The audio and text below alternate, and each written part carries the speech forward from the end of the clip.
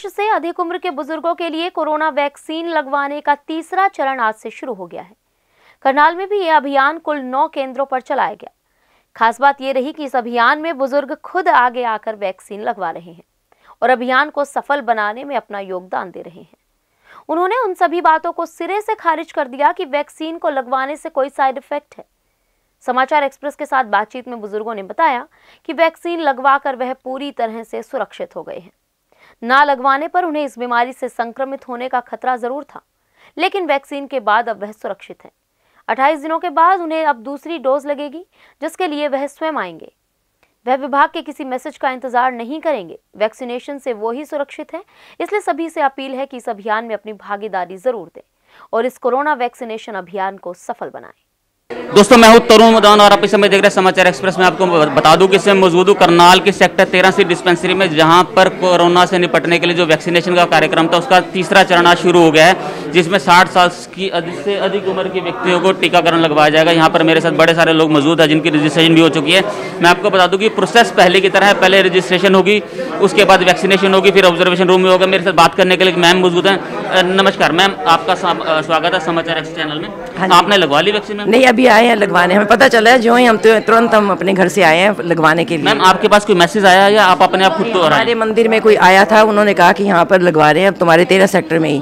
तो हम तुरंत काम छोड़ के आगे भी लगवाना ज़रूरी है। इसको लगवाने को लेकर आपके मन में कोई हिचकिचाहट हो? नहीं कोई डर नहीं है कोई डर नहीं है।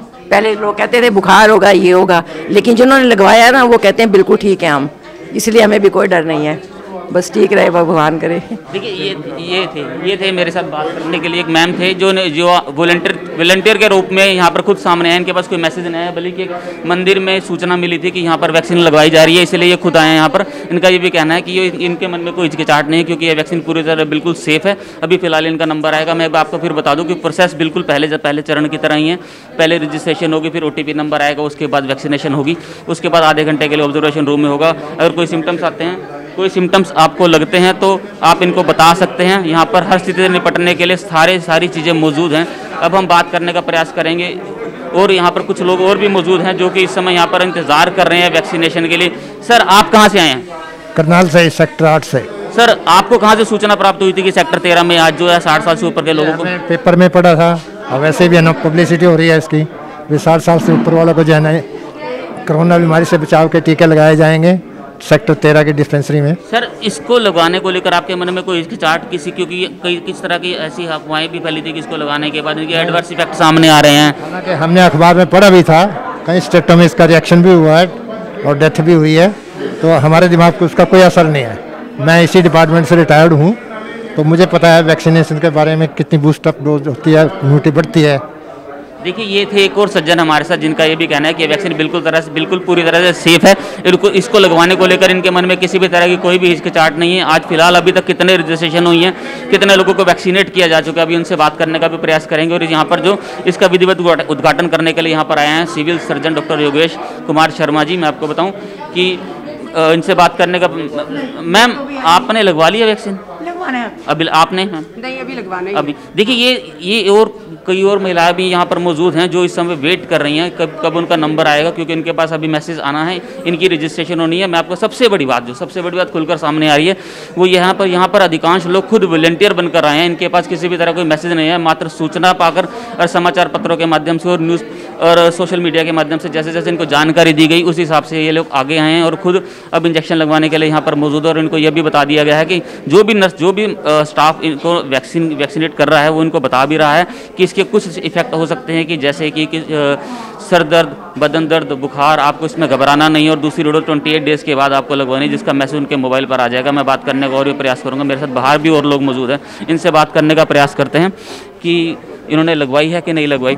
मैं इनसे बात करने का प्रयास सर आपने लगवा लिया वैक्सीन? नहीं लगवाना है। आप भी वेट कर रहे हैं अभी? हाँ हाँ जी हाँ तीसरे चरण का अभियान स्टार्ट हो गया है वैक्सीनेशन को लेकर। खुद मैंने यहाँ पर लोगों से बात की कुछ लोग वॉलेंटियर बनकर सामने आ रहे हैं जो बहुत ही अच्छी बात है। उनके मन उनका यह भी कहना है कि यह वैक्सीन बिल्कुल पूरी तरह से बिल्कुल सेफ़ है एडवर्स इफ़ेक्ट को लेकर उनको जानकारी है लेकिन वो बीस निसंकोच इस वैक्सीन को लगवाने के लिए तैयार हैं।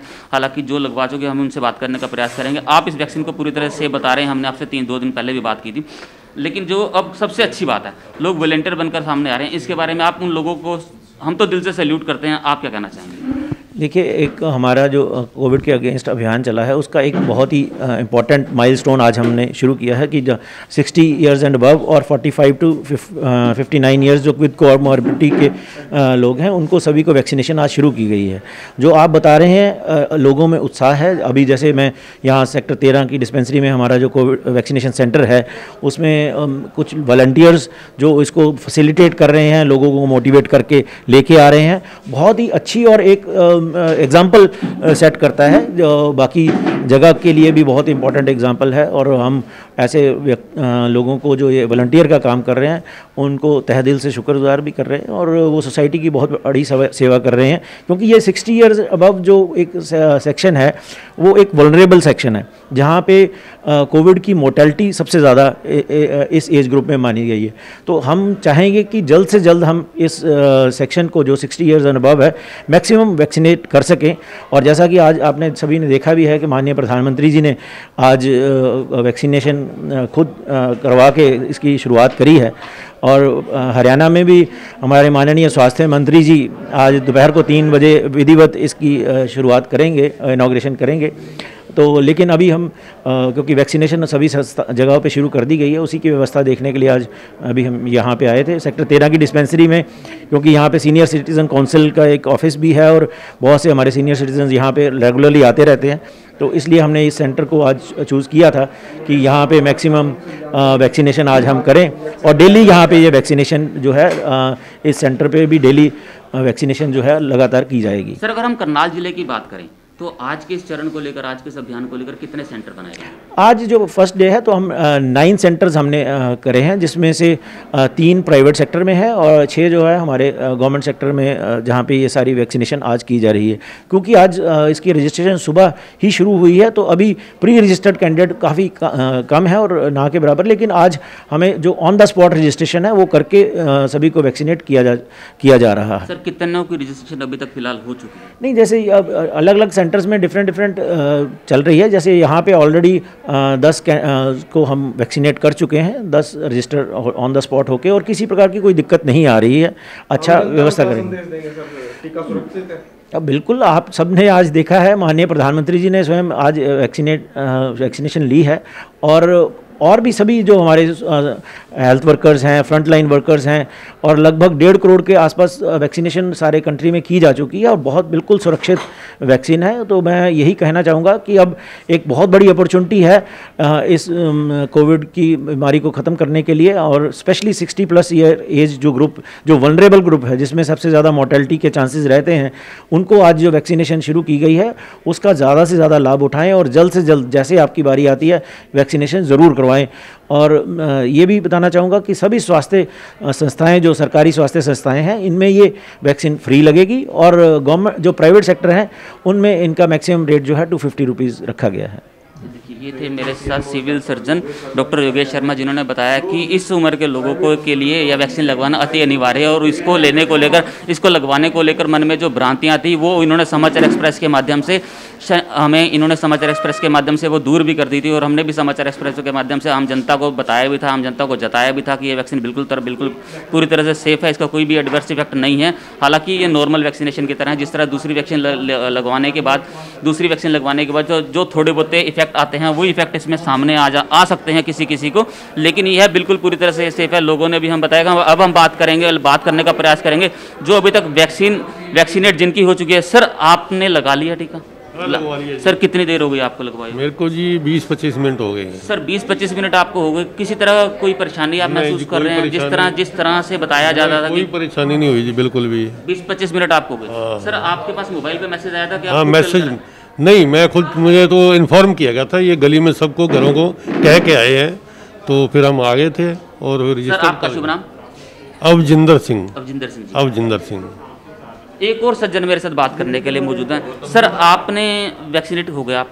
वैक्सीन लगवा ली। कितनी देर हो गई आपको मुझे दस मिनट हुई अभी। सर कोई ऐसी कोई दिक्कत महसूस कर रहे हो कोई किसी, किसी तरह की दिक्कत कोई महसूस नहीं कर रही है। बिल्कुल ठीक है बिल्कुल ठीक है कोई पेन नहीं है। तो सर लोगों के मन में डर था लोगों के मन में भय है कि भ्रांतियाँ भी हैं कि कोई नुकसान हो। इसके लिए आप जन उनसे क्या हाँ, लोगों को ये बहम अपने मन से निकाल देना चाहिए।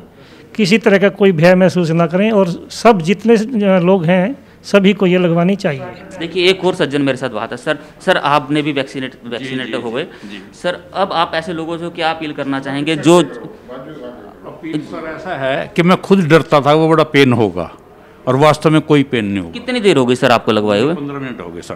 पंद्रह मिनट में आपको कोई ऐसा ऐसा इफ़ेक्ट नज़र नहीं आ रहा जो कि बताया जा रहा था कि कुछ तरह से। लेकिन बिल्कुल बिल्कुल। ओके सर अब सेकेंड डोज 28 डेज़ के बाद लगनी है। उसमें आप खुद चल कर आएँगे कि स्वास्थ्य विभाग के मैसेज का इंतज़ार करेंगे? खुद ही आ जाएँगे। मैसेज की कोई ज़रूरत नहीं हमें पता है अट्ठाईस दिन के बाद आ जाएँगे। अपने आप ही आए हैं। कोई सिर्फ़ अखबार में पढ़ा था कि भी यहाँ से ये सेंटर बना है और हम खुद चल करके आए देखिए, ये थे मेरे साथ ऐसे कुछ लोग जो कि वैक्सीन करवा चुके हैं, वैक्सीनेट हो चुके हैं। इनका ये भी कहना है कि ये खुद चल कर आए हैं, खुद पत्र पत्रों में, अखबारों में और मीडिया के माध्यम से इनको पता चला है कि यहाँ पर वैक्सीन लग रही है तो खुद चल कर आए हैं। लेकिन इनका ये भी कहना है, इनको दूसरे लोगों से भी अपील है कि वैक्सीन लगवाने को लेकर बिल्कुल भी घबराए मत। किसी को पच्चीस मिनट हो चुके हैं, किसी को पंद्रह मिनट हो चुके हैं, किसी को दस मिनट हो चुके हैं। इनमें से किसी ने भी अभी तक किसी भी तरह का कोई भी सिम्टम्स की, कोई भी ऐसी शिकायत नहीं करी।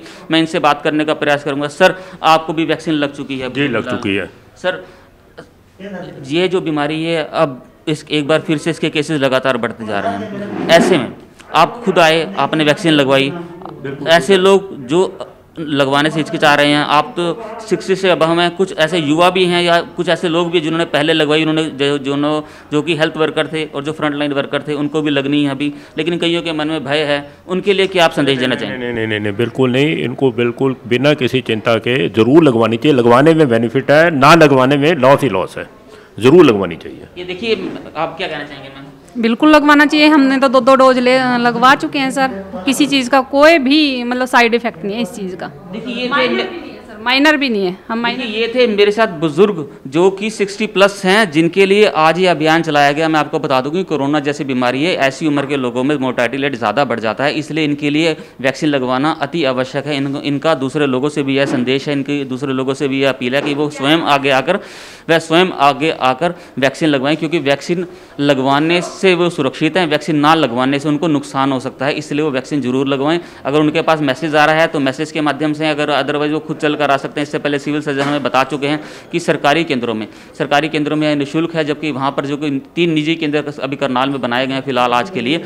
उसमें मिनिमम दरों पर यह टीका लगाया जा रहा है। इसलिए हमारी भी समाचार एक्सप्रेस के माध्यम से अपील है कि वो बुज़ुर्ग जो कि 60 प्लस है, जिनके लिए इस अभियान की शुरुआत की गई है, वह स्वयं आगे आकर वैक्सीन लगवाएँ और दूसरों के लिए प्रेरणा का स्रोत बने। मैं Tarun Madan, senior camera person Sunny Chaudhary, Samachar Express के लिए धन्यवाद।